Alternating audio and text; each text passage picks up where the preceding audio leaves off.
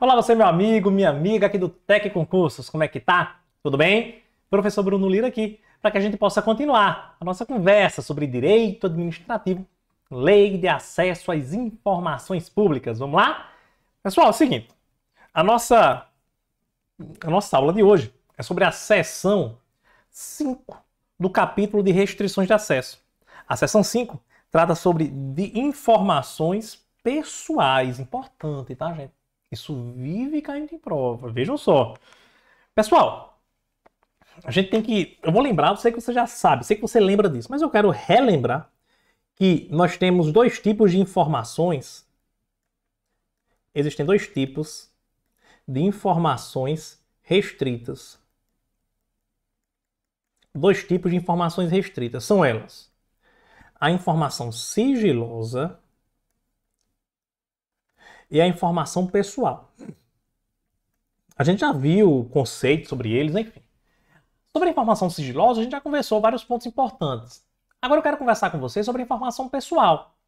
O artigo 31, gente, ele diz que o tratamento das informações pessoais deve ser feito de forma transparente, mas com respeito à intimidade, vida privada, honra e imagem das pessoas, bem como as liberdades e garantias individuais o tratamento de informação pessoal tem, é muito peculiar, tem que ser muito cuidadoso, tá? Parágrafo primeiro, ele vai dizer que as informações pessoais a que se refere este artigo, relativas à intimidade, vida privada, honra e imagem das pessoas, primeiro, terão seu acesso restrito. Gente, isso é muito importante. Ó, independentemente de classificação de sigilo. Veja só. Se uma informação, meu amigo, é uma informação que é uma informação inerente a uma pessoa, se é uma informação pessoal, essa informação, gente, vai ter restrição de acesso independentemente de classificação de sigilo. Isso diz, pessoal, que a administração não precisa classificar a informação sigilosa, não. Ele não precisa dar uma classificação, não. A, a, classificação de sigilo é para outra coisa, aqueles casos que a gente viu. Se a informação é pessoal, amigo, ela já tem acesso restrito. Tá? Agora, essa restrição de acesso, olha o prazo. Essa restrição de acesso é pelo prazo máximo de 100 anos a contar da sua produção. Olha como é uma restrição longa, né, gente? É um prazo máximo também, tá? É, são 100 anos. Por quê? Gente, veja, essa informação pessoal é porque eu não quero causar nenhum tipo de constrangimento para a pessoa, por isso eu não divulgo a informação dele. Ele coloca um prazo longo, assim, 100 anos, porque a expectativa de vida de uma pessoa é menos, é menos que isso, né? Acho que a ideia, a ideia do legislador foi essa. Então coloca 100 anos por quê? Porque quando essa informação ela já per, quando ela perde a restrição dela e se torna de acesso público, muito provavelmente essa pessoa titular da informação já tenha falecido. E aí ela vai ser divulgada e a pessoa já faleceu. Tá? Entendo que o motivo do legislador tenha sido isso. Essa restrição de acesso, gente, a informação durante esse prazo de até 100 anos, essa informação esse, essa, essa restrição durante o prazo de até 100 anos, essa, essa informação ficará restrita durante esse prazo a agentes públicos legalmente autorizados e, logicamente, a pessoa que elas se referirem. Ou seja, se, é, se durante esses 100 anos o agente público que tem que trabalhar com a informação, ele vai ter acesso. E a pessoa titular da informação, lógico que ela tem acesso também, tá? Além disso, outra determinação importante, pode ser autorizada, pessoal, a divulgação ou acesso por terceiros em dois casos. Primeiro, diante de expressa previsão legal ou consentimento expresso da pessoa a que ela se refere. Se a lei determina, gente, que determinada pessoa, que alguma pessoa pode ter acesso àquela informação, mesmo que for pessoal, aí é a lei que está dizendo, meu amigo. Então a pessoa vai ter acesso.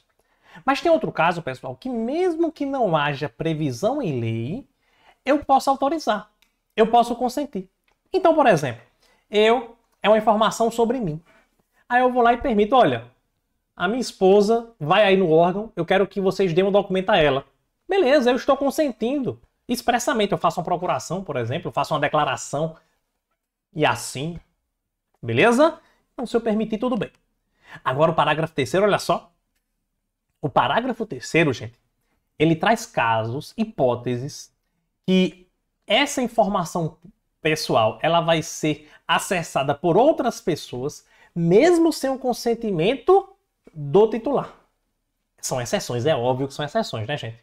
São situações que, mesmo que o titular não faça o consentimento, mas mesmo assim ela vai ser consultada por outras pessoas. Quando, quando vai ser isso, professor? Olha, quando as informações forem necessárias, a prevenção ou diagnóstico médico, quando a pessoa estiver físico ou legalmente incapaz. Ora, a pessoa está incapaz, ela está desacordada, por exemplo. Está desacordada. O médico precisa ter acesso à informação para prevenir uma doença, para prevenir a morte dela, por exemplo. Aí tem que dar acesso ao médico, tem que dar acesso à equipe médica dessa informação.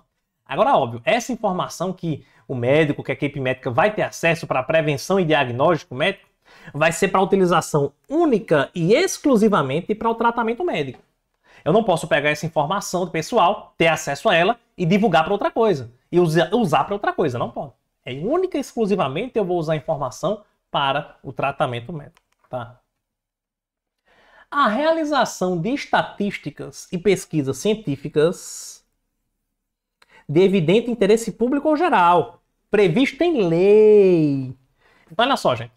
Se eu tenho uma, se, se está sendo realizada uma estatística ou uma pesquisa científica de interesse público ou geral, e essa estatística, essa pesquisa precisa de uma informação pessoal, o poder público vai conceder.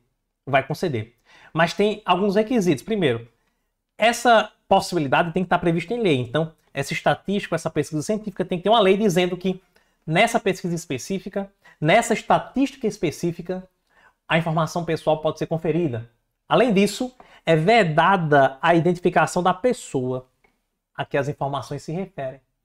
Então, por exemplo, eu não vou divulgar, olha, assim, na, na estatística, na pesquisa científica, a gente não identifica. Eu pego a informação, mas eu não digo que essa informação é de João.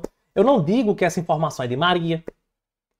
Entendeu? Por exemplo, eu tenho as contribuições previdenciárias das pessoas. As pessoas contribuem para o INSS. E o seu histórico de contribuições previdenciárias é uma informação pessoal. Mas aí o poder público quer fazer, ou então uma instituição, quer fazer uma estatística do valor das contribuições, de quanto é que as pessoas ganham no Brasil. Qual, qual é a média salarial do Brasil, quais são as nas faixas de idade, quantas pessoas ganham, qual o valor, qual o valor das contribuições. Aí ele vai junto ao INSS, pega essas informações mas veja que nesse caso, eu não vou dizer, ó, Bruno ganha 5 mil, Maria ganha 10 mil. Não. Eu vou, tá, eu vou fazer nessa estatística, eu vou colher o seguinte dado: olha, as pessoas, por exemplo, de 18 a 30 anos, foi identificado que a média salarial é de 2 mil reais, por exemplo. Entendeu? Beleza? Não digo de quem é essa informação, a quem se refere ela. Gente, também esse consentimento também pode ser dispensado, ou seja, a informação pode ser acessada, a informação pessoal pode ser acessada se for o caso de cumprimento de ordem judicial. Aí, meu amigo, é determinação judicial. Aí o juiz determina, olha, para desvendar um crime, eu preciso de acesso à informação pessoal. Opa, tem que dar acesso.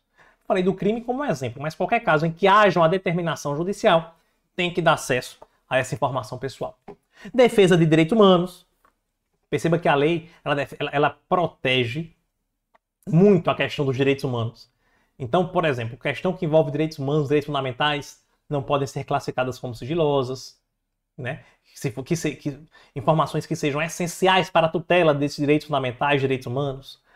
Informação necessária, informação pessoal necessária para a defesa de direitos humanos também pode ser acessada sem consentimento. Pontos importantes aqui. E por último, gente, também a informação pessoal também pode ser acessada sem consentimento para proteção do interesse público e geral preponderante. Beleza? Então, olha só, é um rol até um pouco extenso. São cinco possibilidades em que, mesmo sem consentimento, a informação pessoal pode ser acessada por terceiro. Tá bom? Parágrafo 4 diz que a restrição, muito importante aqui, tá, gente? A restrição de acesso à informação relativa à vida privada, à honra e imagem de pessoa não poderá ser invocada com o intuito de prejudicar processo de apuração, prejudicar processo de apuração de irregularidades em que o titular das informações estiver envolvido, bem como em ações voltadas para a recuperação de fatos históricos de maior relevância. Vejam só, pessoal. Eu tenho uma informação pessoal. Só que aí, gente, eu não posso alegar essa informação é pessoal. Eu não posso alegar que uma informação é pessoal para ela não ser acessada, porque eu estou com o intuito, com o objetivo de prejudicar uma apuração de irregularidade em que eu estou envolvido. Então, se, se eu estou envolvido em irregularidade, gente, e a polícia, o Poder Judiciário, os órgãos competentes estão apurando essa irregularidade, eles vão ter acesso à informação pessoal sem problema nenhum. Mesmo que eu não queira, mesmo que eu não concorde, eles vão ter acesso, porque eu não posso invocar, eu não posso invocar essa restrição de acesso da informação pessoal com o intuito de frustrar esse processo de apuração de irregularidade. Beleza? E também, gente, também não é, ações voltadas para a recuperação de fatos históricos de maior relevância, nesse caso também eu não posso invocar a restrição de acesso. Também é concedido. Beleza? Questãozinha FGV, questão de prazo cai demais, tá, gente? Cai muito. A gente viu uma questão na aula anterior, ou foi na, na duas aulas atrás, uma questão que tratava sobre o prazo de sigilo de informação reservada. Lembra? Pronto, aqui é uma, uma questão que fala sobre o prazo de informação pessoal.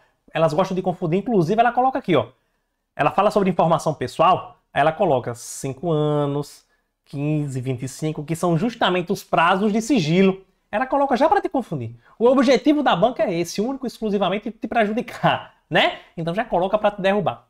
A questão diz que há no contexto nacional um recente há no contexto nacional recente, no contexto nacional recente, um grande debate a respeito das exceções à regra de acesso para informações classificadas por autoridades como sigilosas.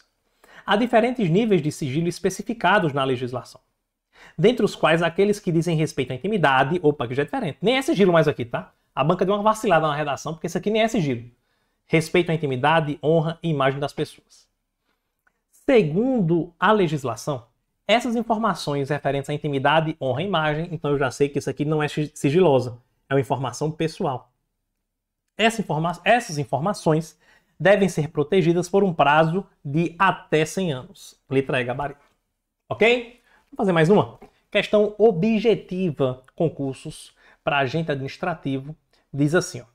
Em conformidade com a Lei 12.527 de 2011, Lei de Acesso às Informações, sobre informações pessoais, analisar a sentença abaixo. Primeiro, as informações pessoais relativas à intimidade, vida, privada, honra e imagem terão acesso restrito, tudo bem, acesso restrito. Dependendo da classificação de sigilo, gente, já nós falamos sobre isso. Não depende de classificação de sigilo, tá? Não, então tá errado. Já posso dizer que essa primeira aqui tá falsa. Segundo, as informações pessoais relativas à intimidade, vida privada, honra e imagem não poderão, em nenhuma hipótese, ter autorizado a sua divulgação ou acesso por terceiros. Opa, Pode sim, gente. Primeiro, quando, eu, quando há o consentimento do titular, e existem cinco situações que, mesmo sem consentimento do particular, essa informação vai ser acessada. Então, em nenhuma hipótese está errado. Falso. E por último, a restrição de acesso à informação relativa à vida privada, honra e imagem de pessoa poderá ser invocada com o intuito de prejudicar o processo de apuração de irregularidades em que o titular das informações está envolvido. Gente, Poderá não. Vimos agora há pouco. Não poderá. Falso também. A sentença está totalmente incorreta. Letra E é o nosso gabarito. Tranquilo, gente? Beleza? Então, meu amigo, minha amiga, muito obrigado pela sua participação aqui na nossa aula. Se for com dúvida, você já sabe onde me encontrar. Vai lá no meu Instagram, manda tua dúvida e assim que possível eu te dou um retorno. Combinado? Valeu, forte abraço, eu te aguardo na nossa próxima aula. Tchau, tchau, até mais!